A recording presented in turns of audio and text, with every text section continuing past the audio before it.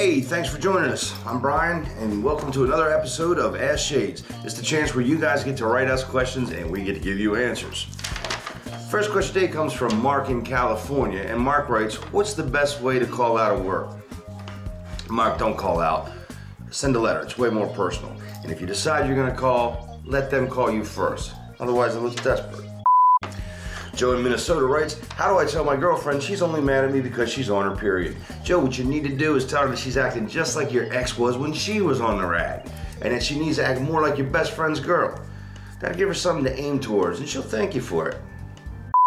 Dave in Annapolis writes, My shampoo did not come with any instructions. How much do I drink?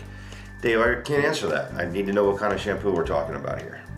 Tom from Delaware writes, My boss and I are in a heated argument. What can I do to stay calm? Tom, what you need to do is take a deep breath, count to 10, and then throat punch him when you get to 8. He won't be expecting it. Allison in Newark writes, How can I apologize in a way that sounds super sophisticated? Make no apology. All right, well, thanks again for joining us. And if you got a question that you want to ask, just reach us right here. We'd love to hear from you. We'd love to give you some advice. Peace.